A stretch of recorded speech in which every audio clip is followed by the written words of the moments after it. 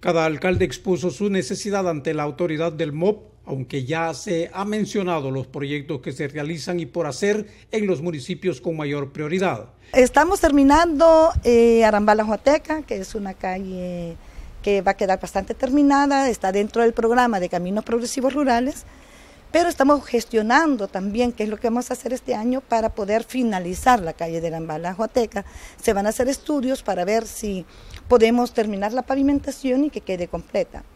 Eh, también con Fondos Life vamos a entrar a tejer a Paso del Mono, que había sido un compromiso especialmente para toda la población y también para la población salvadoreña que vive en, el Bolsón. En el Bolsón, en Aguaterí, que pueda movilizarse más fácil a Perquín.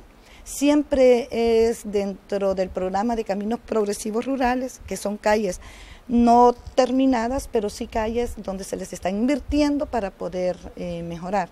Hizo mención sobre los avances en las gestiones del bypass que se realizará en coordinación con la alcaldía de San Francisco Gotera. De la municipalidad anterior también venimos proyectando un bypass que facilite eh, la entrada de vehículos y que bueno la pasada de vehículos que van para el norte, que van hacia el camino hacia Perquín que son gran mayoría de municipios de Morazán que utilizan la calle, y estemos en negociación eh, con los permisos de los derechos de vía.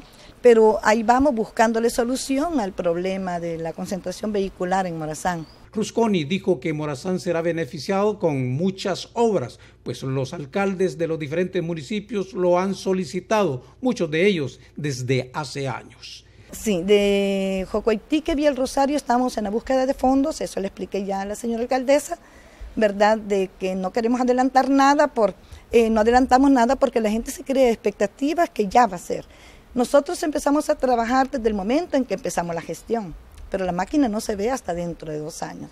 Pero estamos haciendo la gestión, eh, creo que solo el Rosario nos queda eh, y San Simón San Isidro como dos municipios que no tienen eh, vía pavimentada y estamos en esa gestión para hacerlos. La delegada del Ministerio de Obras Públicas aprovechó la oportunidad para reunirse con otras representaciones de Gotera para afinar detalles sobre otros proyectos. Jorge Álvarez, Sol TV Noticias.